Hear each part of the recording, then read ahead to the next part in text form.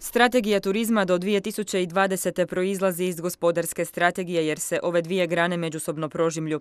U ostalom, u Istri je teško definirati što turizam nije. Ipak, infrastruktura mora zadovoljiti špicu sezone, lipanj i kolovoz. A strategija između ostalog iznjedriti načine kako objekte na čiju izgradnju i održavanje odlaze veliki novci puniti u pred i po sezoni. Zato je važno u izradu uključiti građane i struku. Oni koji kreiraju turističku ponudu grada, tu imamo hoteljere od velikoga pa malih hotela, e, pansiona i naravno imamo privatne iznajmljivače kojih ima jako puno i koji su danas značajni dio ponude svake turističke destinacije.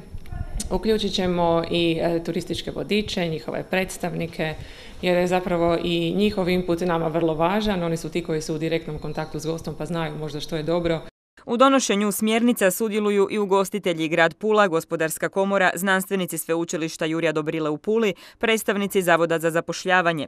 Sve su to važne interesne skupine, a široka lepeza sudionika jamči bolju implementaciju.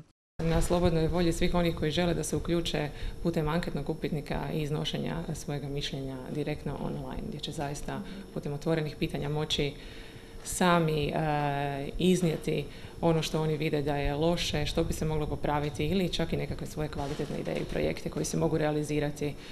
Naravno da ih unesemo u samu strategiju. Njome se definiraju temeljni strateški ciljevi pa operativne strategije i akcijski planovi, odnosno konkretni projekti i njihovi nositelji, izvođači i sredstva.